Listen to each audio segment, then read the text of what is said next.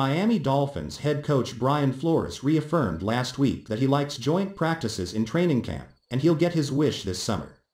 New Atlanta Falcons head coach Arthur Smith revealed Tuesday morning that his team will be having practices with the Dolphins this summer.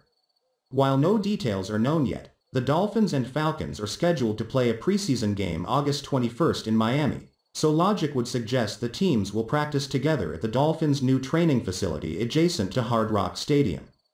Based on precedent, the Dolphins and Falcons are likely to practice with each other August 18-19 before the customary non-practice day before the game. The Dolphins also will face Atlanta in the regular season, October 24th at Hard Rock Stadium one week after the game against the Jacksonville Jaguars in London, England. The Dolphins and Falcons had discussions about joint practices last summer as well, but those plans had to be scrapped because of COVID-19 considerations. The game against Atlanta will be the only one at Hard Rock Stadium for the Dolphins, who will play at Chicago on August 14th and at Cincinnati on August 29th. I'm always in favor of doing joint practices, Flores said last week. I think they bring a lot from a camaraderie standpoint, from a competitive standpoint. I think you can get a lot out of those.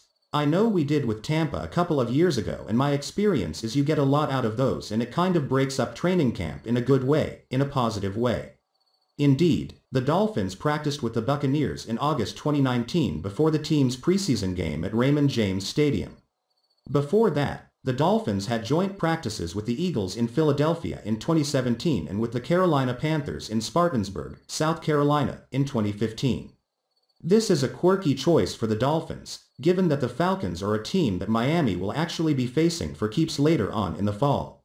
Miami is set to face off against the Falcons in Week 7 of the 2021 season. The dynamics of early access to a season opponent is a double-edged sword. Yes, the Falcons will get a taste for the strengths and weaknesses of Miami's talent. But the Dolphins will get an early peek at how new head coach Arthur Smith is going to handle his personnel and the Dolphins themselves will get a feel for Atlanta's players as well.